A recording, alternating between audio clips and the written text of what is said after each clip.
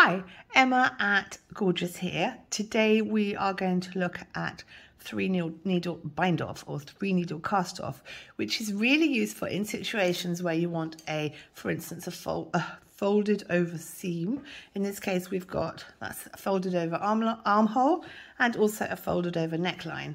So traditionally, one simple way to do it would be to finish, do your ribbing, and then cast off in rib, and then literally stitch it, fold it over, stitch it down.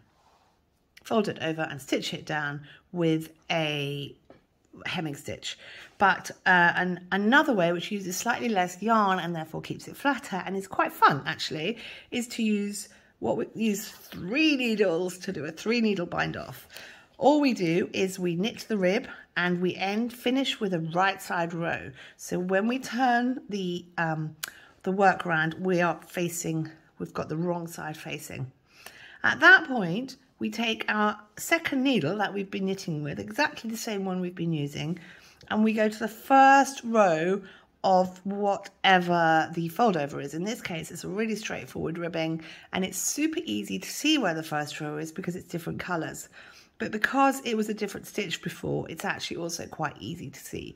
Now, I've done most of it because this is, takes quite a long time and I didn't think you'd want to watch all of it. But I'm literally picking up, oh, no, picking up the wrong one. I'm literally picking up the bottom of the first stitch in each case. Now, it, it can get quite tight if you're a tight knitter. And so what you could do is, is just literally cast on maybe um, sorry, pick up the first 10 and then cast them off, and then pick up the next 10 and cast them off, and the next 10. But it, I wanted to show you that you can do it all in one piece. So I think we've got two more to go. Now, um, you should have exactly the same number of stitches on the bottom and the top, although actually, um, because of the way knitting works, you may well have one less on the bottom row and that doesn't matter. I'm just struggling with this corner stitch, the very last stitch. So I'm using the other needle to pick it up, which, which you can do the whole way along. So you could go, um, if you want, if you find it, I find it really easy to do because I'm used to it, but you can easily pick it up and pop it on, pick it up and pop it on. Now, the third needle in a project like this, we need the bind off to be stretchy. We need to be able to get our heads through it.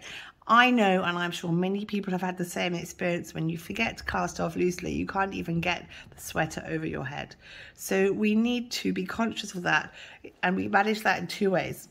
One, we use a rib bind off, a rib cast off or bind off, and two, when we're doing three needle bind off, we could just use a bigger needle.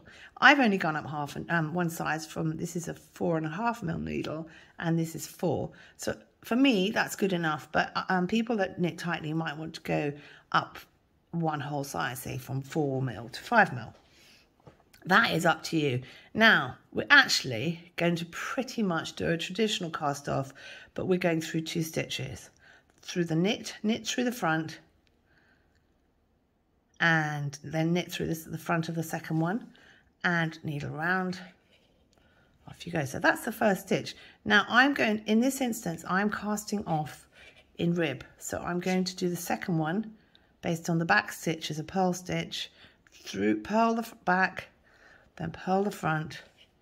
Nice keep it nice and loose. I know it looks neater when it's nice and tight but it doesn't feel nice.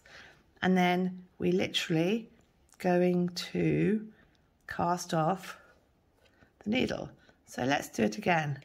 Needle, we're going to cast, we're going to, the next stitch a knit stitch, so knit through the front, knit through the, knit the back one, two, two stitches every time, one from the back, one from the front, and then use one of your needles, whichever one works best for you, to, let me just tell you, I've split the yarn there, to pull that through.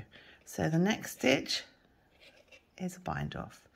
So um, we're going to do that and we are going to come through and we're going to, I do like to keep my, my, my cast off quite, quite loose, but perhaps that was a little loose.